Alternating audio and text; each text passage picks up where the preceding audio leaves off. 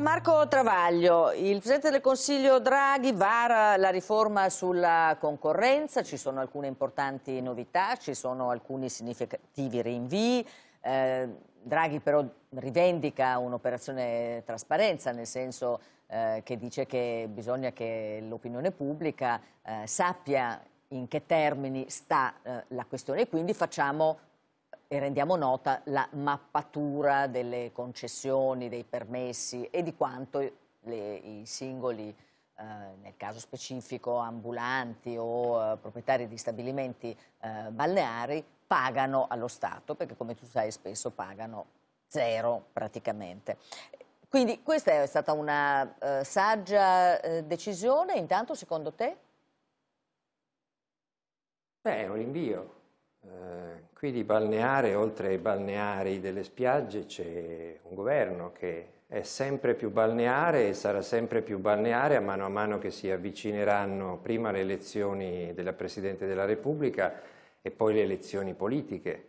Eh, chi pensava che si potesse comprimere la politica, la dialettica, il sano scontro, il sano conflitto, non quello pretestuoso, quello vero, quello tra gli ideali, le idee, le ideologie, vogliamo chiamarle come vogliamo, gli interessi dei vari gruppi di pressione che poi sono nient'altro che associazioni di categoria, cittadini che rappresentano ciascuno il proprio interesse e che lo riversano eh, sulle varie forze politiche perché quell'interesse rappresentino, eh, si sta riprendendo il suo posto. Chi pensava che la politica potesse essere costretta in una camicia di forza dove spariscono tutte le differenze e eh, si fa un grande, eh, una grande ammucchiata in cui tutto è diluito e affidato al potere taumaturgico del Premier, si sta rendendo conto che la politica non può restare in sonno per troppo tempo. Se è una soluzione provvisoria di qualche mese ci può anche stare, ma adesso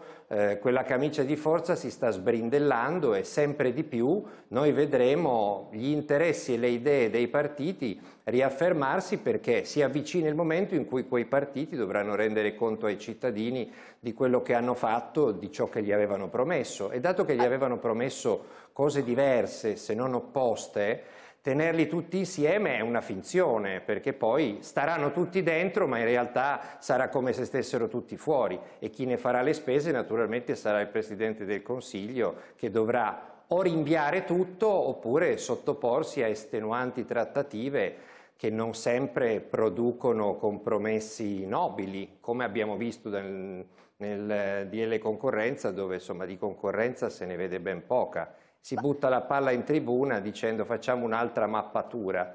Diciamo che eh, questo da un punto di vista del governo Draghi è stata la notizia di oggi. Poi però, neanche tanto sullo sfondo, ci sono eh, partiti come la Lega e come il Movimento 5 Stelle che al loro interno hanno fortissime fibrillazioni. Nella Lega vanno alla conta praticamente. Lì Mm, tu pensi che perché Salvini ha detto prima di cominciare il Consiglio federale eh, io ascolto tutti e poi decido io, eh, anche perché lui è il segretario del, della Lega, quindi è ovvio che alla fine deciderà lui. Ma lì invece ci sarà un vinto, un vincitore secondo te? Ma sai, eh, sono due leghe ormai.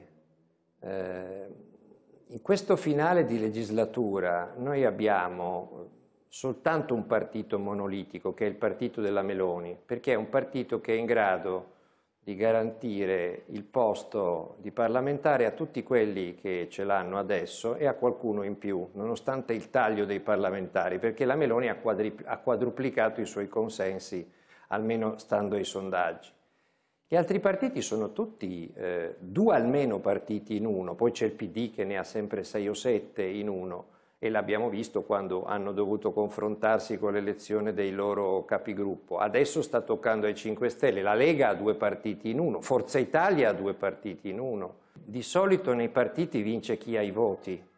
Chi è che ha portato la Lega dal 5% in cui l'aveva ereditata ai tempi di Maroni in pochi anni al 35% delle europee e al 20% che più o meno dovrebbe avere adesso? Salvini, non certo Giorgetti.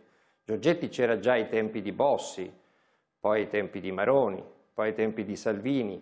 Non è che in questi anni Giorgetti non si è accorto che Salvini era alleato con le peggiori destre d'Europa, non è che non ha partecipato ai comizi nei quali si vedevano anche i saluti fascisti, eh, cioè non, non, si capisce bene eh, dove stesse in tutti questi anni, eh, quando veniva eletto grazie ai voti che portava prima Bossi e poi Salvini, perché la Lega eh, quello è. Eh, quelli sono i, i, leader che portano i voti alla Lega. Se la Lega dovesse diventare un, un semolino eh, europeista pettinato, allineato e coperto, non avrebbe più ragione di esistere, potrebbe diventare una costola di Forza Italia. Non si capisce perché Giorgetti sia ancora iscritto alla Lega anziché a Forza Italia, ecco. per esempio, ecco, visto ecco. che ha le stesse posizioni di Forza Italia. Io credo che finché Salvini avrà consenso vincerà Salvini. Ma io una lega di Giorgetti, francamente, non, non capisco che mercato possa avere nell'elettorato italiano. Quello spazio lì è già coperto da, da Forza Italia, in parte da quei centrini eh, che stanno dall'altra parte, Calenda, quel che resta di Italia Viva, un pezzettino di Bonino, ma non vedo grandi spazi.